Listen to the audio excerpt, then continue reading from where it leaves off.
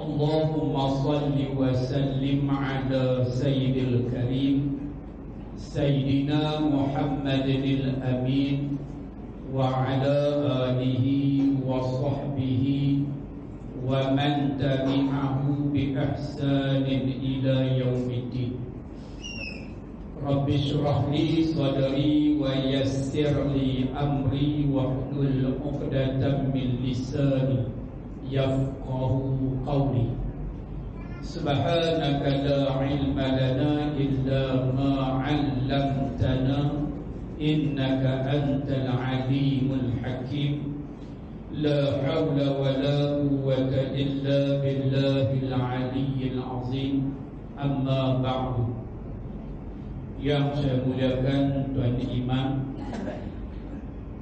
pegawai-pegawai masjid dan seluruh ahli jawatan kuasa masjid. Tuan-tuan muslimin muslimat Mudah-mudahan kita semua dirahmati Allah subhanahu wa ta'ala. Alhamdulillah Pertamanya dan selamanya syukur kita kepada Allah subhanahu wa ta'ala Kerana dengan keizinannya dengan limpah punya Allah subhanahu wa ta'ala. Kita masih diberi peluang Diberi kesempatan oleh Allah subhanahu wa ta'ala Untuk sekali lagi Kita berada di dalam bulan Ramadan ini. Dan berbanyak-banyak syukur kita juga kepada Allah Subhanahu wa taala kerana memilih kita dan memberi kekuatan kepada kita. Untuk kita mengerjakan ibadat di dalam bulan Ramadan ini di mana kita menunaikan sembahyang fardu Aisyah secara berjemaah dan seterusnya sembahyang sunat tarawih. Dan kita berhenti seketika berada dalam majlis tazkirah dalam majlis ilmu pada malam ini mudah-mudahan sedikit perkongsian kita pada malam ini mendapat manfaat dan dinilai oleh Allah Subhanahu wa taala sebagai salah satu daripada amal-amal soleh yang kita akan bawa balik ketika mana menghadap Allah Ta'ala nanti. Tuan-tuan muslimin muslimat yang dirahmati Allah Subhanahu wa Ta'ala Dalam masa yang ringkas yang singkat ini Saya nak bawa tuan-tuan satu hadis. Di mana Nabi sallallahu alaihi wasallam bersabda Nabi kata salah satu yubghiduhum Allah alaihim yaumal qiyamah. Kata Nabi salah satu ada tiga golongan manusia. Ada tiga kelompok manusia. Yang mana ketiga tiga kelompok ni kata Nabi yubghiduhum Allah alaihim yaumal qiyamah. Allah subhanahu wa ta'ala benci. Allah subhanahu wa ta'ala murka. Allah subhanahu wa ta'ala tak suka kepada tiga golongan manusia pada hari kiamat nanti. Yang pertama Nabi kata wal bakhiru golongan yang Allah Subhanahu wa taala benci yang Allah taala tak suka. Yang pertama Nabi kata orang yang bakhil orang yang kedekut. Tuan-tuan muslimin muslimat yang dirahmati Allah kita hidup ada dunia ni kalau orang tak suka kat kita pun dah kita tak seronok dah kita selisih dengan dia paling muka dia kering dia tak mau tengok muka kita. Dia meluap kat kita. Dia tak suka kat kita. Kita tak seronok dia buat kenduri orang ni semua dia panggil kan kita dia tak panggil orang nak kena panggil tanya hang tak kena kan aku tak kena. Ish rumah hang dekat dengan rumah dia dia tak panggil Rupanya dia tak panggil kita menuri dia pasal apa? Pasal dia keluar kat kita. Orang ni pakai menunggu menerapi kita tu rumah tu tengok ketika kan. Sonok lah. Tak sonok. Kita ambil nasi nak minum makan dengan dia semeja kita letak pinggan kita, dia ambil pinggan dia dia pakai pindah di meja ni. Dia tak suka duduk dengan kita. Kita rasa. Tu manusia.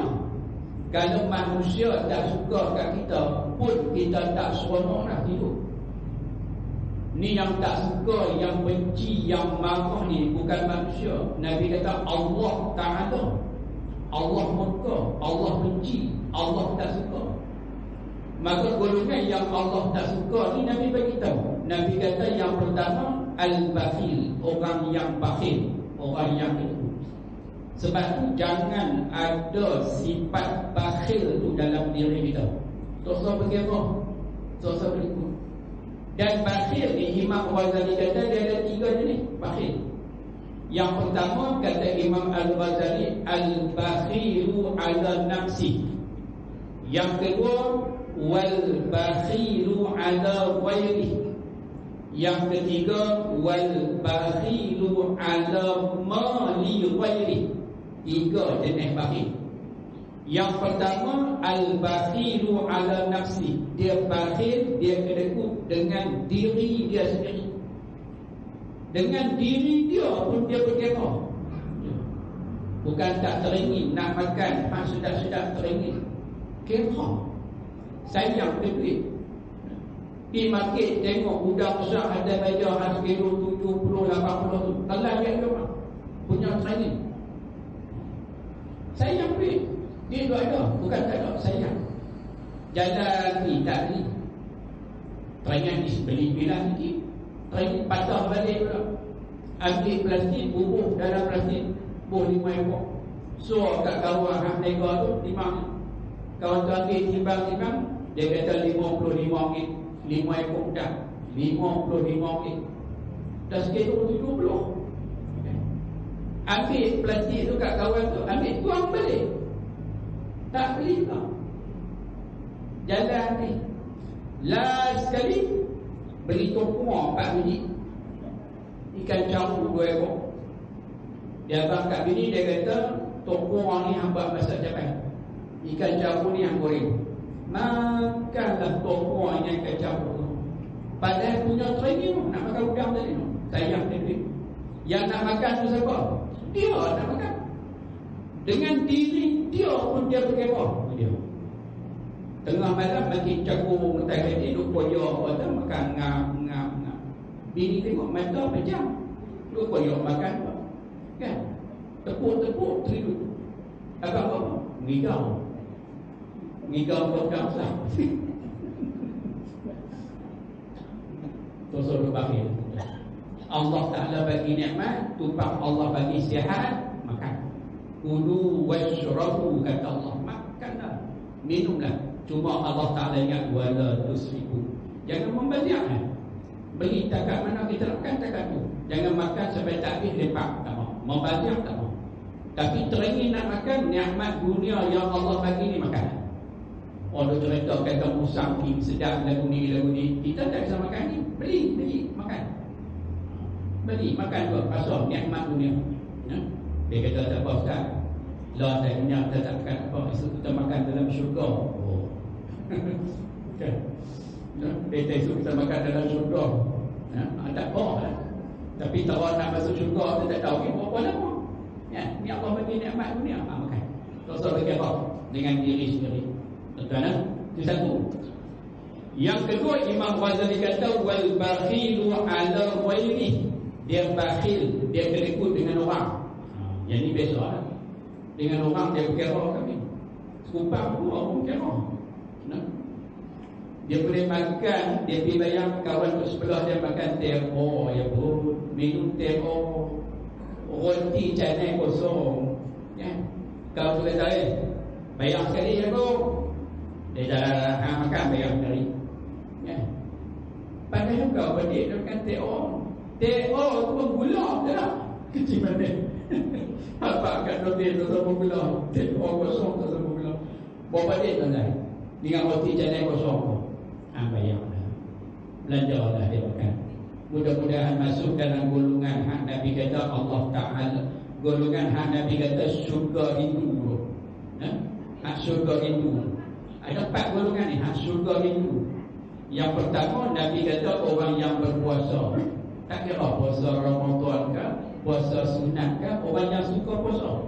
Syurga itu yang kedua Nabi kata syurga itu kepada orang yang bercakap yang elok-elok. Bila dia cakap tak ada bagi orang tak ada untuk perli-perli orang tak ada untuk bagi sakit hati orang. Hak dia cakap hak dia elok ya. Hak ni syurga itu orang macam ni yang ketiga Nabi kata syurga itu kepada orang yang suka jamu bagi orang makan. Mungkin kita nak buat kenduri belanja patuih-patuih ribu-ribu kita tak ada padam belanja dia makan roti canai padam belanja dia makan nasi pinggan ha, itu lah jamu. Syurga itu kepada orang yang suka jamu orang makan yang keempat Nabi kata syurga itu kepada orang yang lidahnya sentiasa membaca Al-Quran. Jadi ada empat golongan ni.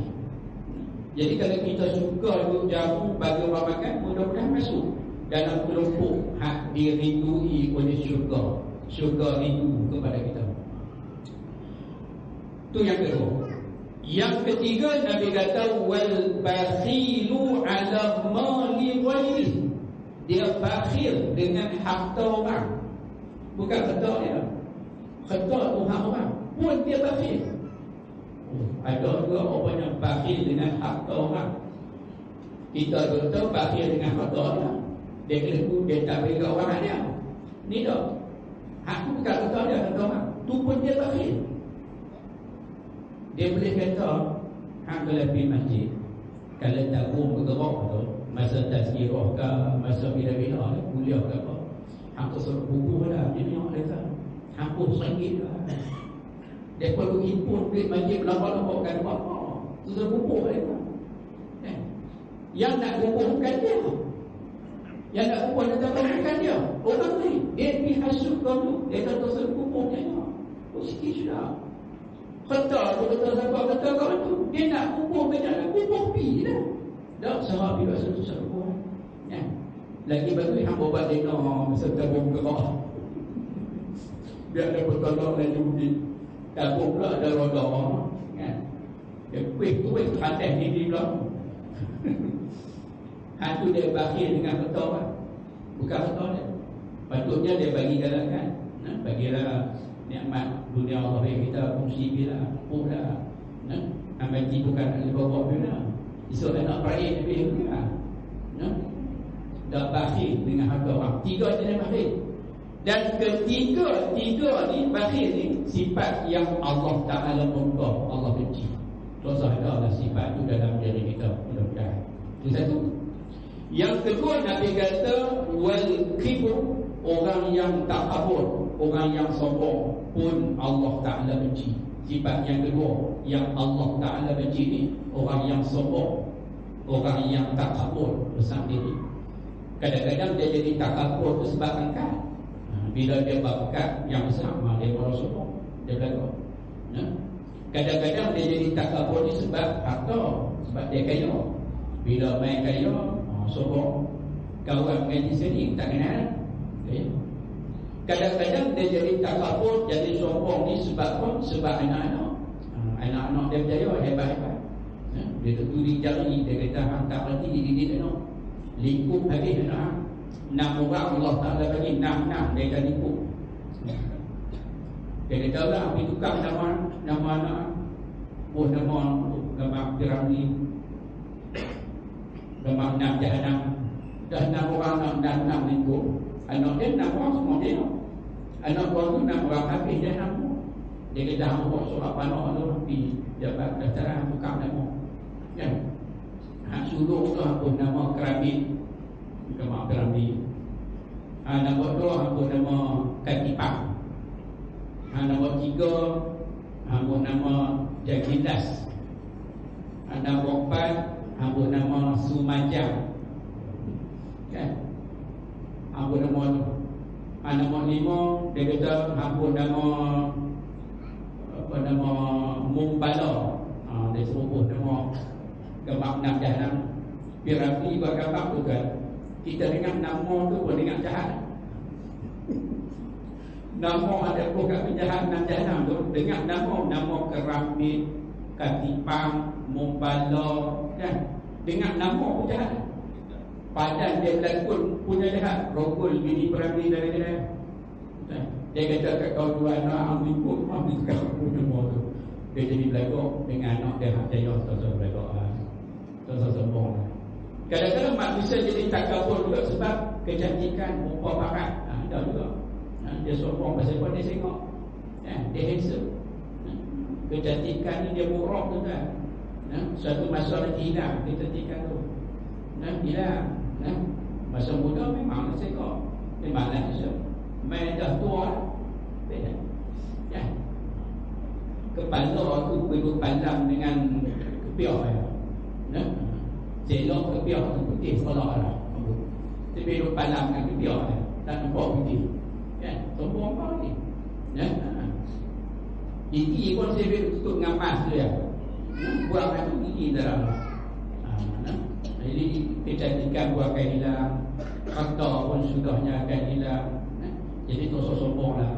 Hidup kita tadi yang itu sombong Lebih-lebih lagi dengan ahli keluarga kita Dengan adik-adik kita eh? ha, Ini kadang-kadang sombong. Dengan mok dia sendiri Dengan pok dia sendiri Kadang-kadang dia sombong. Ya? Dia tak tekuk mok dia. Dia tak jaga dengan pok dia. Ya? Padahal mok itu yang melahirkan dia. Mok tu yang mengandungkan dia sembilan bulan bulan ni. Mok tu yang susah payah pelihara daripada kecil sampai besar.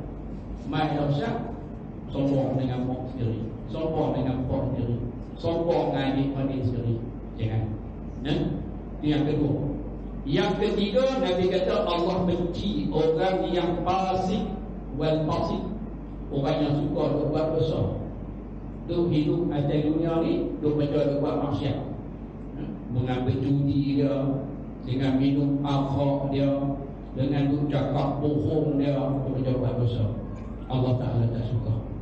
Jadi tuan-tuan muslimin muslimat yang dirahmati Allah mudah-mudahan kita terpelihara tiga sifat ini mudah-mudahan Allah pelihara diri kita.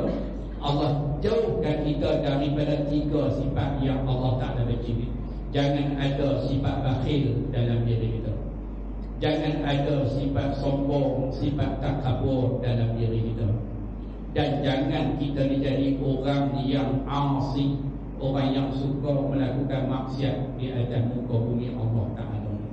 Isyak secukuplah setakat itu sikit perkongsian kita yang ringkas pada malam ini